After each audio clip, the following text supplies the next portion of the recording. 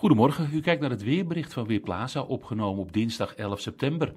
Vandaag een tweedeling in het land. In de noordelijke helft van het land is veel bewolking en kan af en toe ook wat lichte regen vallen, terwijl in het zuiden er ook flinke zonnige perioden zijn. Vanochtend zien we die bewolking vanuit het noorden langzaam ook naar het midden van het land trekken. Het is zo'n 15 tot 16 graden dan. Vanmiddag worden 20 graden in het noorden en 23 tot 26 graden in het zuiden. Daar is dus duidelijk ook de meeste zon. De wind waait uit het zuidwesten en is matig tot krachtig. Die gaat vanavond geleidelijk aan iets afnemen. Ook vanavond en vannacht wolkenvelden in het noorden en in het zuiden nog opklaringen. Maar morgen zien we dat die bewolking geleidelijk aan terrein gaat winnen. Alleen in het uiterste zuiden en zuidoosten kan het misschien nog 22 tot 24 graden worden. Elders wordt het 15 tot 18 graden en valt er af en toe wat regen.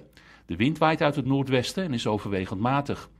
Donderdag en vrijdag is er weer wat vaker zon en ook zaterdag laat de zon zich zien. Er kan nog wel een enkele bui vallen. Vanaf het weekende gaan de temperaturen ook duidelijk weer wat omhoog en zondag kan het ruim 20 graden worden op de meeste plaatsen. Mijn naam is Raymond Klaassen voor Weerplaza. Nog een fijne dag.